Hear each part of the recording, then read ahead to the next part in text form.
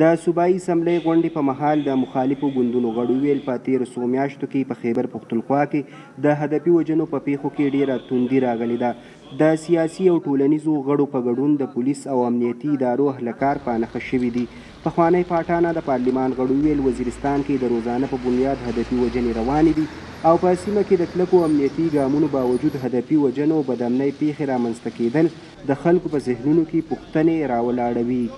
د میرانشاه او خاص کر په میرلی کې چې میرلی یو پلین تحصیل دی د وزیرستان یو لاک اتیا زره آبادي لري په دې کې دلته هر ورځ دا واقعیت کېدل بیا هغې ځای نه د اوسه پورې هېڅوک هم نه ګرفتار شول نه اندازه ولګېده چې آیا دا څوک دي د کومه راغلي دي نو بیا دا شکونه د خلکو په ذهن کې پیدا کوي چې آیا دلته څه داسې کیسه ده چې د دومره خلکو وژل کیږي او د هغې یو قاتل هم د اوسه پورې ګرفتار نشو د جمعیت علماء اسلام د شمېرو تر مخه د تېرو څو میاشتو راهسې په قبایلي ضلعو شمالي وزیرستان او باجوړ کې د ګوند ځايي مشران په هدفي وژنو کې وژل شوي او باجوړ کې د یادې ډلې د مشرانو د وژلو ذمه واري داعش منلې ده. د جمعیت علماء اسلام مشران وايي، د دغه وژنو ذمه وار نه دي معلوم کړی شوي او دوی د دغه پېښو ذمه وار حکومت ګڼي، ځکه چې ریاست په قبایلي سیمه کې ډیر غټ عملیات کړی او اوس داعش راځی که هر څوک ذمه واری ریاست او ریاستی اداری دی خو صوبائی حکومت دریځ لری چی پخوانی قبایلی سیمی اوس د صوبی برخه جوړه شوی او دوی هر ممکن هڅی کوی چی هلته امنیت په ځای شی. باقی حکومت لګیا دی زمونږ کوم کوم اداری دی سیکورټی اداری دی هغه مسلسل لګیا دی او اپریشنونه هم روان دی ځای په ځای. کوشش دا کوي چې دا کوم خلک چې دي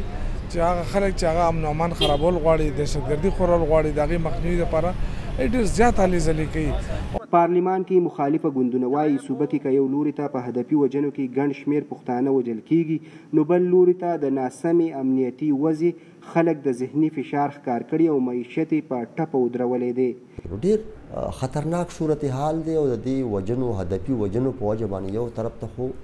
که موږ وګورو نو په ډېر لوی تعداد کې پښتانه ووژل خو بل تاوان یې دا دی چې د دې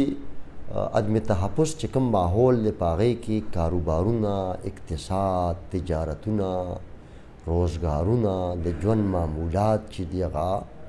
په ټپه ولاړ دي. په شمالي وزیرستان کې د یوت اپ وزیرستان په نوم تنظیم او د پښتون ژغورنې غورځنګ دعوه کوي چې د کال دوه زره اتلسم وروسته په سیمه کې هدفي وژنو لړۍ پیل شوې ده او دعوه کوي چې اوسه پورې نږدې څلور سوه اتیا کسان په هدفي وژنو کې په نښه کړی شوي دي. عثمان خان، وایس اف امریکا، ډیوه، پېښور.